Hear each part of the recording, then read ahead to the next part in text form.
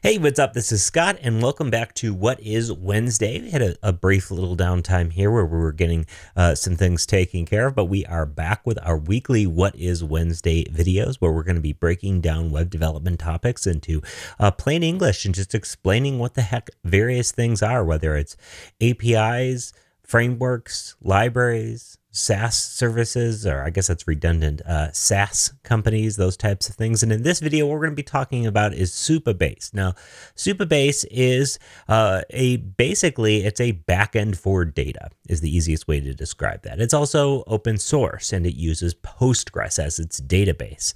So this basically gives you an option as a place to store your data in a Postgres database without having to really get into the specifics of Postgres itself. It also has support and built in features for authentication as well as things like subscriptions with real time um, and instant APIs. So basically, what you're doing is you're spinning up a Supabase uh, Supabase and you're creating your data structures, and then you're able to access this as an API with minimal effort. So as you can see here, Supabase is uh, open source, so you can host it yourself, which is a really big pro of that. In fact, they compare it a lot to Firebase, so much to the point where they say it's an open source Firebase alternative. Now, that obviously doesn't help if you've never used Firebase, but basically, what it is is a database for your data. You can use it for authentication, you can store large files, including media, and you have edge functions. Now, there's a ton of stuff here, and you get an instant API exactly from this. Basically, it takes a lot of the guesswork out of the back end coding of things. Let's go ahead and take a look at what this looks like in the real back end of this. In fact, I have an account. I'm going to authorize Okay, it's logged in here. Now, Supabase is a newer service, but it's really fantastic. Oh, look at that green highlight. Okay, so let's restore my test project, which is paused. And you can see if I open up this project here, what kinds of stuff do we get? Well, let's just let it load up.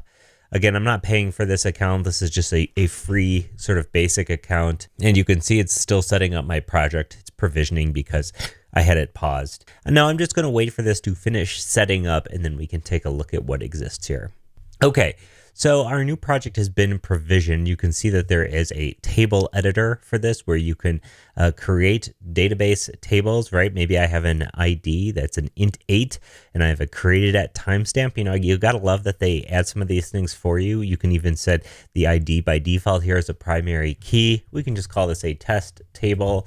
I'm just going to hit save just so you can see how quick and easy this is. And this is adding two columns uh, to test table. Let's confirm this. Oh no, I didn't. I didn't mean to confirm that, but looks like it created for us anyways.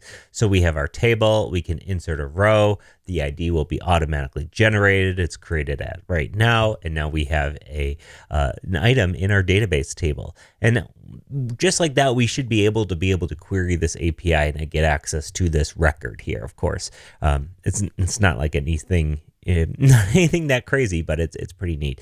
Um, you also have things like users and policies, um, SMS stuff, which I haven't really dove into. You have storage for buckets for actual um, media, things like that.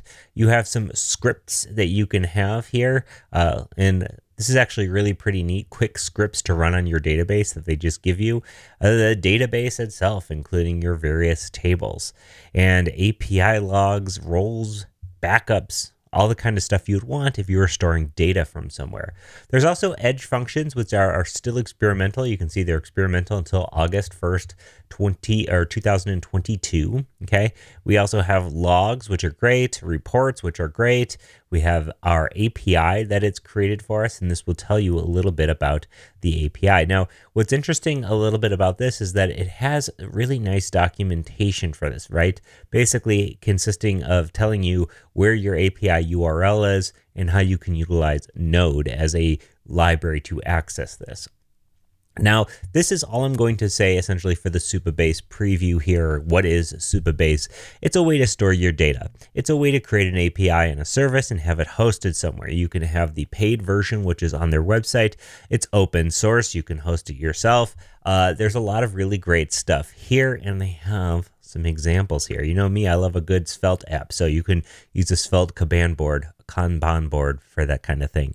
So check it out. This is Supabase. Let me know what you think about it. I think it's pretty neat. If you want to learn Supabase, head on over to leveluptutorials.com. We have a course from Jon Meyers on real-time remix with Supabase, and it uses Remix, which is already one of the hottest frameworks out there. It's so cool. And Supabase together to do a real-time chat app. How cool is that?